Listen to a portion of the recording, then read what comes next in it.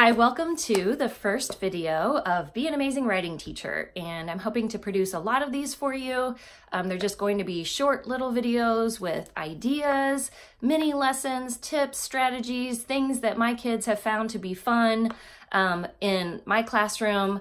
Uh, I hope to share these in a way that you'll be able to use them directly in your classroom right away. When I do writing workshops and sessions at um, conferences and events, I always have teachers tell me that their toolbox is full now and they can't wait to get started. So I hope you'll feel that way too.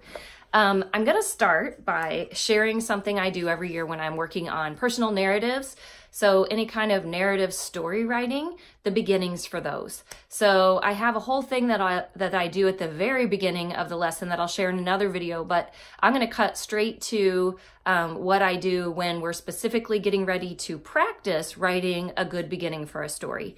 So I start by talking to them about, with me as an author, what I do, because I struggle with this too. So sometimes I'll have a great idea for a story. I'll know who the characters are going to be. I'll know who the, what the problem's going to be. I know, I even know how they're going to solve it.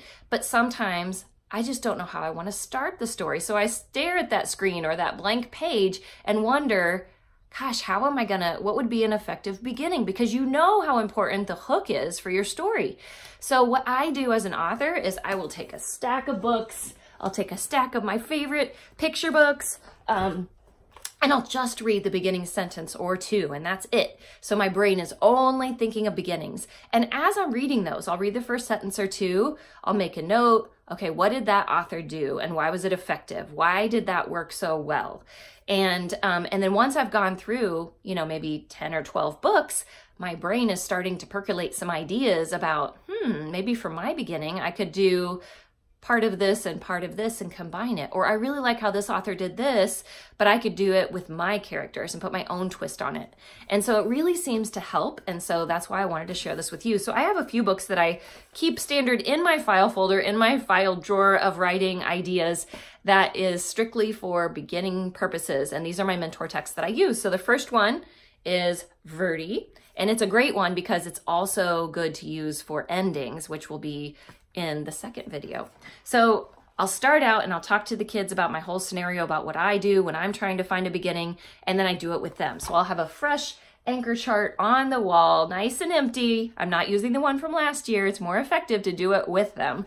And so I have a blank anchor chart and it's just gonna say beginnings. And then I read a beginning. So on a small tropical island, the sun rose high above the steamy jungle. And then I'll ask the kids, so what did that author use? What did they do to um, introduce you to something? What do you now know because you've heard the beginning? And someone will tell me that that was the setting. And I'm like, yes. So we could be introduced to the setting. And I'll write that up there on the anchor chart that the setting is a way you could begin your story. Okay, so how about this one? So this is Vulture and Hummingbird. This is one of my books. And it starts out Vulture's favorite pastimes were branch testing and grumbling. Hummingbird zipped around all day looking for things to add to his happy list. Now, what did I use as a beginning in this story? What do you now know because you've heard the beginning? And of course, the kids are going to say, you know the characters. Yes, we know the personalities of the characters. So I'll write up on my chart, characters. Okay, how about this one? This is too many toys. Spencer had too many toys. They covered the floor of his bedroom and piled up in his closet. So what did we just find out in the beginning of this story? What did the author tell us right away? Of course, they told us the problem in the story, which the kids would disagree that having too many toys, that is not a problem. But we write up there, problem. You can introduce the story with a problem, and then we want to know how are they going to solve that problem. So it's a great hook. Okay, here's a classic for you. Charlotte, Charlotte's Web and of course, it starts, where's Papa going with that axe? And so what did this author start us with? Well, they started us with a question, and that hooks us right in too because we want to know, wait a minute, why does he have an axe? What is he going to do with that axe? And so it's a great way to start a story as well. So I'll write up there, question. Okay, Bridge to Terabithia. Baroom, baroom, baroom, barippity, barippity, barippity. Good his dad had the pickup going. Now, what is that when an author uses sound like that? That was really fun. It got my attention right away, and I'm wondering what's going on, and it kind of put me there.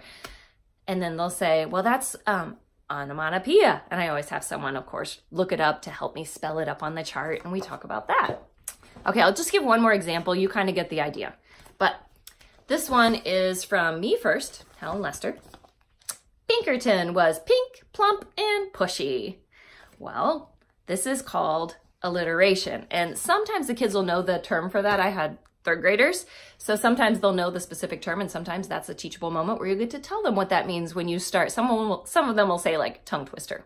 So then I'll write up alliteration. So what we do from there is we talk about the ones that we found and I do more books than that, but for the purposes of this video, I don't want to keep you too long. So, um, so we have this nice chart. We have all these different ways that these authors have effectively began their stories.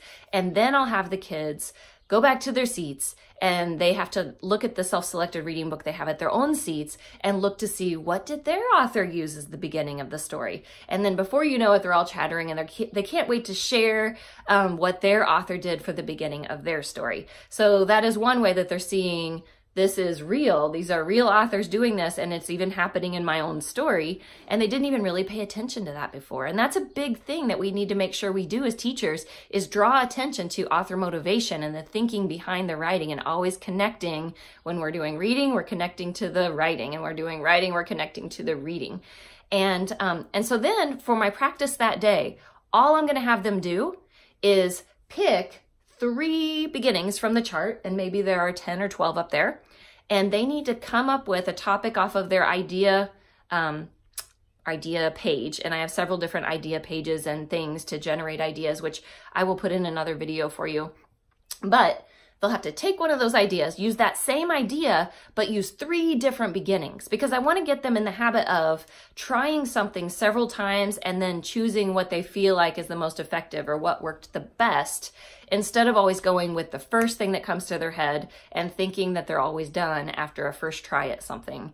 Um, we definitely want to teach them um, the endurance that it takes and what revision is all about. And so by starting them out, by trying things in multiple ways right away, you're kind of starting that habit for them. So for instance, if they wanted to choose character, setting, and onomatopoeia as their beginning and their topic is their pet sheep on their farm, then they can um, do a different beginning using those three types and write about those.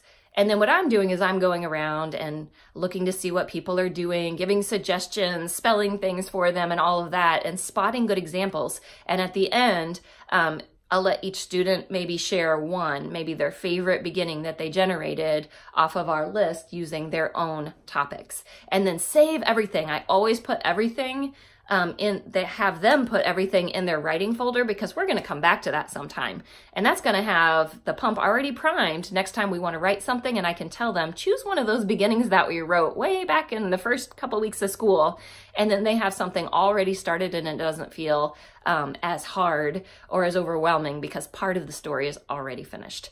So that is my tip for you for writing good beginnings and um, the next video is going to be on writing endings and it relates directly to um, what we just did today. So I hope that you enjoy these and um, you know, this is my first time really doing much with YouTube because in the past I've only used YouTube to kind of be my storage so my phone doesn't explode with all the videos I take in my classroom and with my family.